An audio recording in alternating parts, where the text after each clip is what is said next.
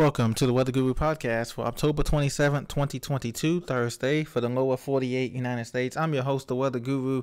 Thank you for joining me on this podcast. Please be sure to subscribe and support, donate to this channel for the latest weather news in the United States.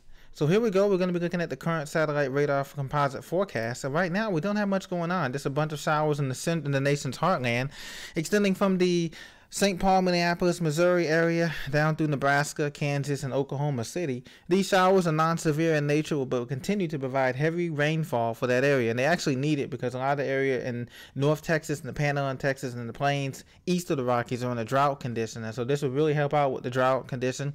Watch out, there's some lingering snowfall showers as you head along I 25 north of the Raton Pass and into the Sangre de Cristo Mountains and the uh, southern mountains of Colorado. Snow showers will continue in the higher elevations, um, west of the Continental Divide. So the big three ski resorts of Vail, Breckenridge, up there in Summit County, you guys are going to get another additional six to ten inches of snowfall overnight tonight. So that's great news for the ski resorts that are opening up in this coming week. Elsewhere, we do have some showers that are in the Pacific Northwest region. So uh, Seattle, Portland, uh, Seattle, Portland, and the Columbia River Gorge and those areas eastward in the Willamette Valley. Um, you guys have had an extended uh, period of nice weather, warm, above average temperatures. All of that's coming crashing down. Temperatures going to go back to the 50s for highs, with showers continuing to plummet their way into the Puget Sound and elsewhere. So in Seattle, Everett, Tacoma, Olympia, or the peninsula there, uh, you're going to continue to see showers continuing to come in that area as of tonight and tomorrow morning. Elsewhere, we have clear skies and beautiful conditions uh, for fall foliage viewing in the southern Appalachians. Um, in Atlanta, Birmingham, Jackson, Orlando, uh, Raleigh, Durham, Charlotte, Richmond, Washington, D.C., Philadelphia, New York, Boston, D.C., the I 95 corridor looks absolutely fabulous today. Even the interior, Pittsburgh and the Alleghenies of West Virginia and Ohio, everything looks fabulous today in terms of sunny skies, 70 temperatures in the 60s and 70s and lots of sunshine for the remainder of the week. Now, we'll have some showers coming in with another frontal system that's going to be pushing through, but that's later on in the weekend forecast period here.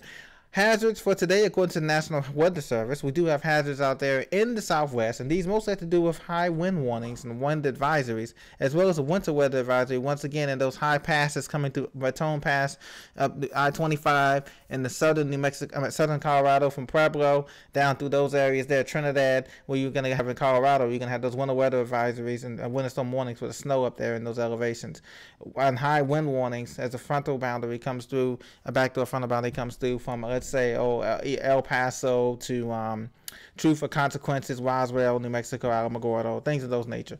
Now, there's also going to be, uh, there's a hazard we have, there's also a high wind warning for the high Cut Bank, Montana, and Havre, Montana, just east of the uh, Interstate 90 there, in the high country there, Big Sky country, there is some high wind warnings in effect. Otherwise, everything else is pretty clear and pretty pretty concise.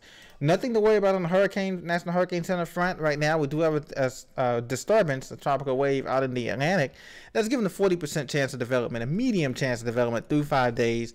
Um, this disturbance could develop into something, but anything that does develop will be subtropical in nature. As we're heading toward the end, the last month of the hurricane season in November, uh, hurricane season ends November 30th, and so we're looking for this to be something significant. But you know, if it does emerge, it'll be a subtropical storm or something like that in the Atlantic, and it probably won't affect no the east coast of the United States. Probably something to worry about for Bermuda would be uh, some brief tropical downpours and thunderstorms, things that nature, but nothing too too heavy there.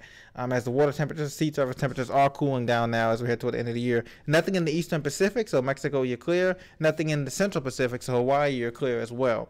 Now, as we progress the model, the GFS model here, uh, throughout the next period here, a couple of days here, you can see that we just had that central low developing in the mid Mississippi Valley and moving across the Tennessee and Ohio Valley, and then it kind of fizzles out and loses steam as it gets to the northeast. Then, uh, as we get towards the forecast period, about to Sunday, we have another few chance of showers to come into the southeast or northeast there and along the coastal low there. And then elsewhere, it looks pretty tranquil. Besides the um, Texas Red River Valley continues to see a low and showers that come in toward the end of the month, and so we don't see real push of cold air in the next week and a half or so, the end of the month of October. The temperatures are going to be moderating, getting back to average with three fourths the majority of the country. So that is a good news there um, as we head toward the, the deeper into the fall month here, as you can see. So this has been your Weather Guru report, current weather conditions and tropical weather conditions for October 27, 2022. Thank you for listening. I'll see you in the next episode. Take care. Have a great day.